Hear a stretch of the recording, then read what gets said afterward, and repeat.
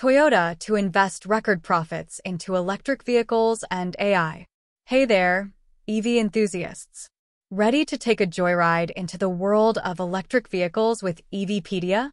Buckle up because we're about to embark on an electrifying journey together. But hold on, before we hit the accelerator, let's make sure you're part of our EV squad.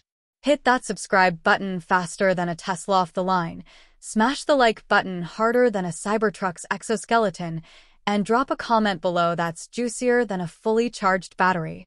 Let's turn this channel into the EV hub of the future, one click at a time.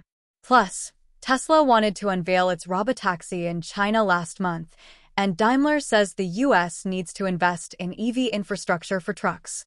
Toyota made a ton of cash last year, to be more precise, $34.5 billion in profits.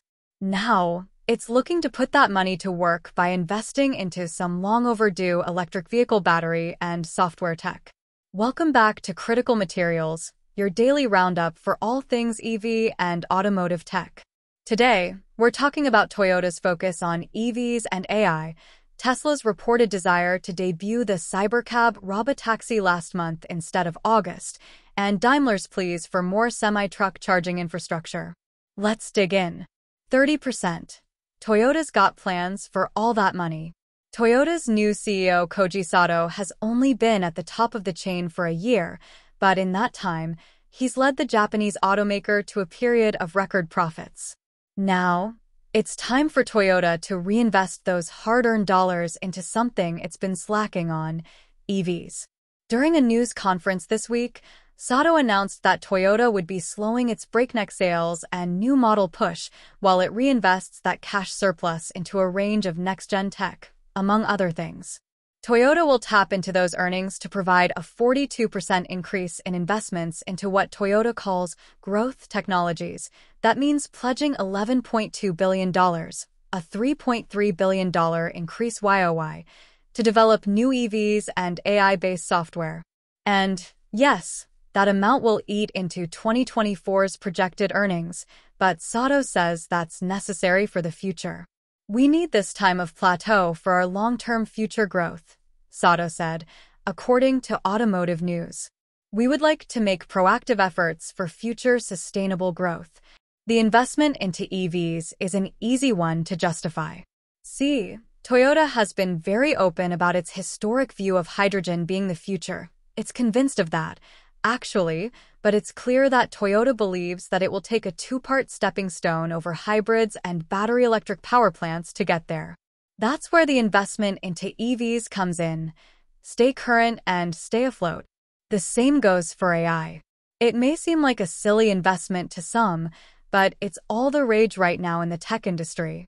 And like it or not, as Tesla CEO Elon Musk alludes to, Many car companies are turning into tech companies that build cars, or at least that's now one of the many hats they wear. Industry like Sanshiro Fukao, an auto analyst at Itochu Research Institute, agrees. In a statement to Automotive News, Fukao said, the battlefield of auto industry seems to have started switching from electric vehicles to artificial intelligence rapidly and drastically. If Japanese OEMs spend a lot in R&D expenses or seek alliances with AI developers, it could decide their survival in the car industry. The good news is that this will mean options for consumers globally. Toyota has done a fantastic job of sending out the IC platform with a bang. Between the GR Corolla and GR Supra, enthusiasts have had a proper send-off from the automaker. Now it's time to usher in the age of change. 60%. Elon Musk actually wanted to reveal the robotaxi in China last month.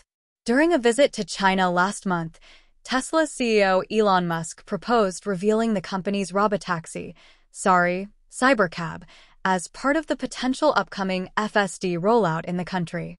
A new report from Reuters, citing a local report from the state-backed China Daily newspaper, outlines the CEO's trip and preliminary approval from Chinese officials that are welcoming Tesla to do some robotaxi tests in the country. However, no official green light has been given.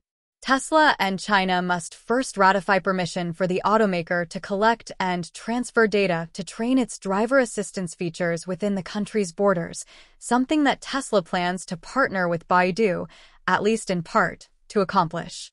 Reuters notes that this was not discussed during Musk's surprise visit to China last month. Reuters says that a person briefed on the matter said that Tesla is seeking to apply for robotaxi testing in Shanghai, where its largest gigafactory is located. Tesla is betting big on the success of its robotaxi. In fact, the automaker pulled back its strategy to release a cheap, mass-market EV in favor of the robotaxi and then announced that Tesla would reveal its robotaxi on August 8th. Eventually, following heated backlash from investors, Tesla said that it would explore accelerating its next-gen EV platform in the coming months. It's interesting to see Tesla seeking to deploy its full self-driving beta as part of a taxi fleet as well as on its customer cars. Tesla, like many big tech companies, has historically taken the move fast and break things approach. It has also raved about the need for Tesla to gather massive troves of data to train its AI model, so a slow, phased-in rollout feels a bit out of the norm. 90%. Daimler says US needs to invest in semi-truck charging infrastructure. The EV semi-trucks are coming. Companies around the US are working to pilot battery-powered semis for short-haul routes in the name of cutting costs even further, but there's just one problem According to Bloomberg, the big truck charging infrastructure sucks. Martin Daum, the head of Daimler Truck Holding AG, recently outlined the challenges faced in the US and Europe to deploy these fleets of trucks alongside existing diesel-powered semis. One of the largest happens to be the lack of charging infrastructure to support the behemoths while on the road, and another is actually getting the permitting and costs sorted for stations that have megawatt-level capabilities. According to the U.S. Department of Energy's Alternative Fuels Data Center, there are only six public EV charging stations capable of delivering DC fast charging to heavy-duty, Class 6 to 8, semi-trucks, and 50 stations for medium-duty, Class 3 to 5, semis in the U.S. It's fair to say that the U.S. is already aware of this need.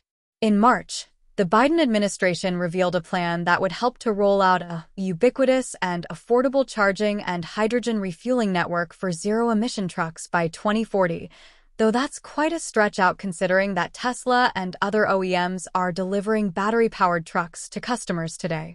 If companies have a bad time rolling out these trial trucks due to infrastructure, it could set back future deployments over a sour taste. The clock is ticking and time is running out quickly, Daum said. Daimler, Volvo, and Volkswagen have all been the targets of regulatory pressure to cut back on heavy vehicle emissions.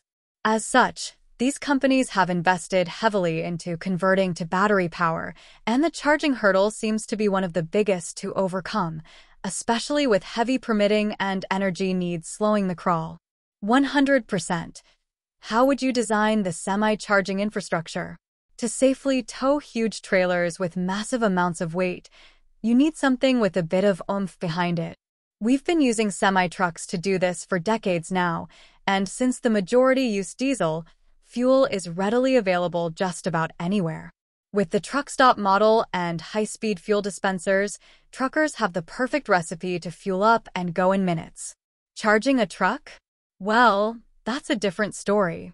With the amount of semis on the road and the power needed to provide DC fast charging capabilities, there are a ton of considerations to take into account. Plus, let's not forget their massive size. It's not like they can pull up to a Tesla supercharger. And you'd need more than just a wet rag to get what you want, maybe a whole beach towel. Today, we're all charging infrastructure experts. Tell me how you would design a charging network capable of efficiently handling large semis in the comments. See you there. Well, fellow EV aficionados, that's a wrap for today's electrifying adventure. Thanks for joining us on this ride. But hey, the fun doesn't stop here. Keep those likes, subscribes, and comments coming in like a convoy of electric cars on a mission. Together, we'll charge ahead into a brighter, cleaner future. Until next time, keep those wheels turning and those electrons flowing. Stay charged, My friends,